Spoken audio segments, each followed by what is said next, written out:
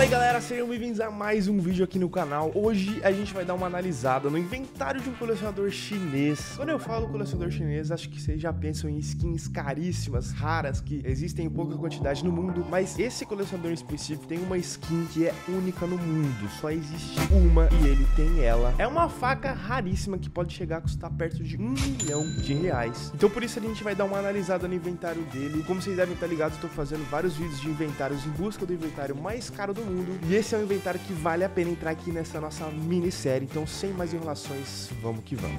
Parem, parem, o sacrifício por skins caríssimos já não vale a pena. Agora temos o K-Drop. Boa! Ah, ah, ah! K-Drop. Skin caro é mais simples do que pensas.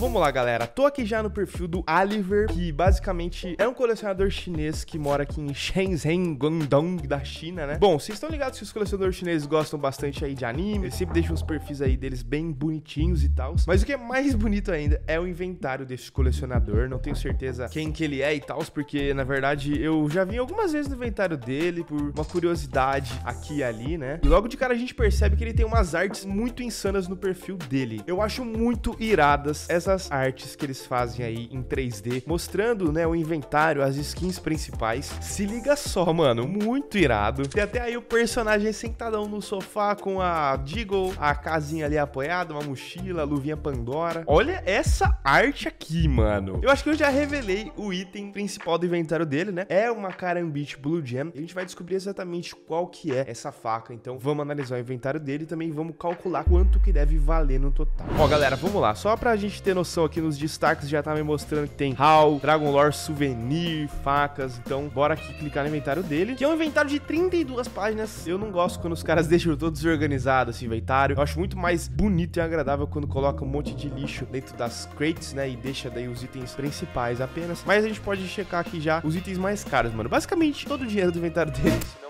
pelo menos uns 90%, tá aqui já nessa página. Vamos começar logo pela Dragon Lore Souvenir, mano. Por se tratar de uma Dragon Lore Souvenir com um float um pouco alto, né? Field Tested, acredito que o preço esteja entre 300 e 350 mil reais. Tudo depende um pouco aí do colecionador interessado em comprar, né? Essa daqui é uma Dragon Lore da Virtus Pro com a Navi. Então, Navi, mano. É um adesivo muito top, assinatura aí do Bialy. Vamos já dar uma analisada aqui em game, mano. Olha que skin irada, galera. Você tá maluco, velho. Muito, muito, muito louca. Eu quero ter uma Dragon Lore Souvenir pro inventário, acho que ainda esse ano, tá? E eu não tenho certeza ainda dos adesivos e tal, mas já vamos dar uma analisada aqui. 2016, mano, ano interessante. Bom, o segundo item aqui, padrão, né, mano? HAL. Essa HAL, por ter quatro adesivos holográficos de cada 2014 e um float muito baixo de 009, é muito valiosa. Acredito que hoje essa HAL aqui deva estar tá valendo perto aí de uns 200 mil reais, fácil, mano. Talvez até um pouco mais. Porque a galera da China gosta muito dessas skins assim, tá ligado? Então eles valorizam demais essas armas. A terceira skin aqui, M9 Safira. Aparentemente ele tem só duas facas no inventário dele. Uma comba aí com a Pandora, né? E a outra a gente vai ver já já. Se ele tem apenas uma faca, eu aposto que essa M9 tem poucas manchas escuras. Realmente é uma M9 Safira muito top, tá ligado? Um pouco mais clean do que o normal. Que ele usa aí junto com essa caixa de Pandora, uma das luvas mais insanas do CS. Float dela aí bem baixo, 0.12. Esse daqui é o primeiro kit dele, galera. A gente tá fazendo um combo aí de 5 mil reais.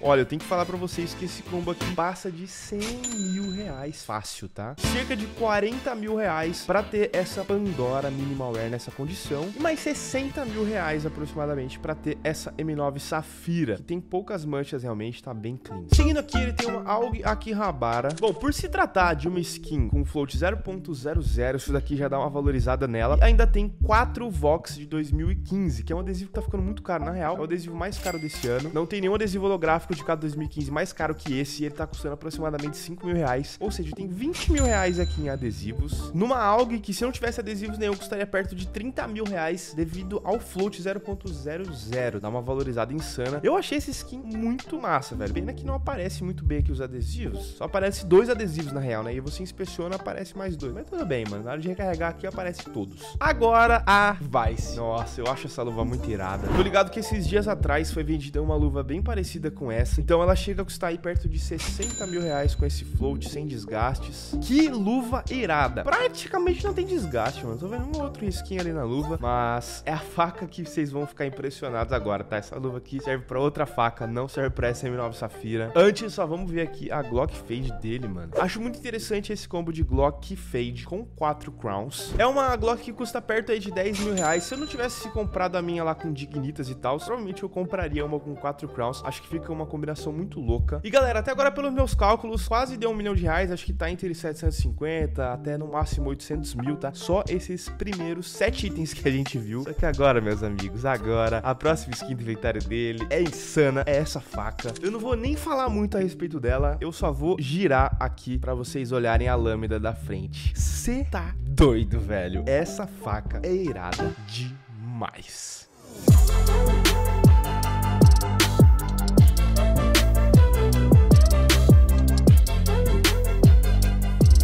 Bom, vamos lá. Antes de analisar um pouquinho mais a faca, vamos ver aqui a história do item. Ele tá com esse item já há um ano, velho. Completou um ano agora. 366 dias. Eu acredito que quando ele pegou aqui essa faquinha, ele deve ter pagado muito menos do que vale hoje. Que se ele comprou um ano atrás, provavelmente ele pagou um terço do valor dela, tá? Realmente essa faca, no último ano, valorizou demais. E é a única faca do mundo com esse pattern 888. Algumas pessoas consideram esse pattern 888 como o terceiro melhor pattern do mundo, outras pessoas consideram como segundo. De qualquer forma, é uma faca fantástica. Se liga nesse kit, velho. Você tá doido? Isso daqui não é possível existir, tá ligado? Isso aqui é endgame total. Agora, por que, que algumas pessoas consideram essa daqui a terceira posição e não a segunda, né? Porque ela tem uma manchinha vermelha ali na ponta e também tem uma manchinha vermelha ali perto do meio da faca, né? Então, assim, eu fico em dúvida, sinceramente, se essa daqui é a hashtag 3 ou se é a hashtag 2. Tem gente que considera a minha faca, né?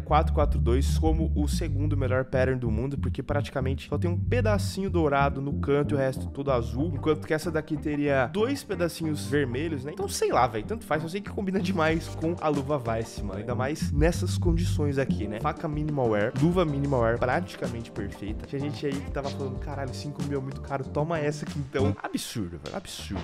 Essa faca dele aqui tá à venda no Buff, tá? Inclusive é um dos itens que eu tenho aqui como favorito e ele quer 900 mil yuans, mano. O que seria 691 mil reais, galera. Eu achei que talvez chegasse perto de um milhão essa faca, mas não chega. E ainda tem mais, velho. Já vimos aí praticamente que um milhão e meio de reais em skins. Ele ainda tem uma K muito irada. Se liga só, cheio de escritas em chinês e tal. Essa K, né? Ela é bem valorizada. Eu não sei se isso aqui é chinês ou japonês, na real. E contrasta bastante com aquela HAL dele, né? Que também tem adesivos aí laranja e tal, né, mano? Muito louca essa K. Não é o tipo de skin que eu gosto, mas tem muita gente que curte esse craft desse jeito, assim. Ele também tem uma USP muito irada. Na realidade, eu conheci esse cara por meio dessa USP, porque eu fui perguntar pra ele quanto tava custando. Eu acho muito louca, velho. É uma Cortex com quatro dignitas. Ele devia comprar minha Glock Fade, né, mano? Pra combinar aí com o inventário dele. Se liga aí como é que é uma USP com quatro adesivos, velho. É muito louco, mano. Pena que, tipo, USP, você usa praticamente dois rounds no CS, né? E o resto você vai acabar jogando de rifle. É pouco valorizada a skin aí de USP, de Glock com adesivos. Mas que fica insano com o resto do kit dele aqui, mano. Fica insano demais. Mano. Ele ainda tem uma Desert Eagle com quatro Clan Mystic. A galera gosta bastante desse adesivo lá na China. Eles acham bem interessante. Tem uma 5.7 que eu nunca tinha visto antes, velho. Olha o tanto de adesivo dessa 5.7.